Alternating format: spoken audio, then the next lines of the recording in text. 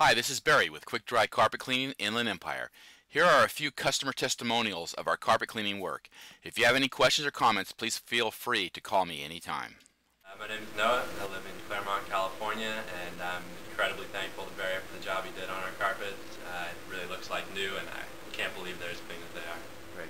Hi, this is Sue. Um, I'm in Diamond Bar. I've used Barry several times, and I'm very pleased with his work. He does a great job, and the carpets come out um, great. I have four cats, and uh, I, I'm very happy with the work he does. Hi, my name's Angelina, and we had Quick Dry Carpet Cleaning come, and they did a fantastic job, and he's not even gone yet, and our carpet's almost dry. so Very try good. him out, and you'll love it. Thank you. Hi, my name's Lori, and I've been having Barry clean my carpet for several years now, and I'm always very delighted with the result. And um, Barry is a really nice guy, and his prices are really reasonable and reliable, and I would highly recommend him to anybody.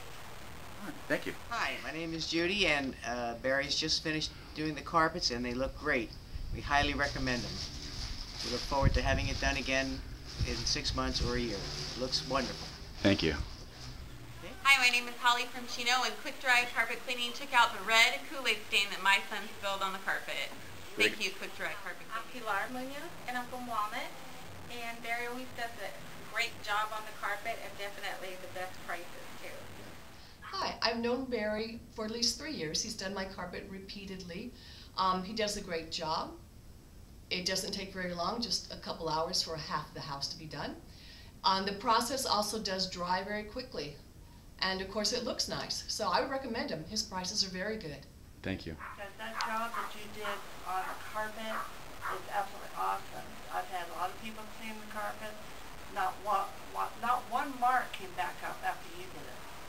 And I have three dogs and a cat. You can't beat that. I'll take you anytime. and I, I do. I tell everybody about you. Ah, well, thank because you. Because that's really important that we can trust you. Yeah. You say you're going to do something.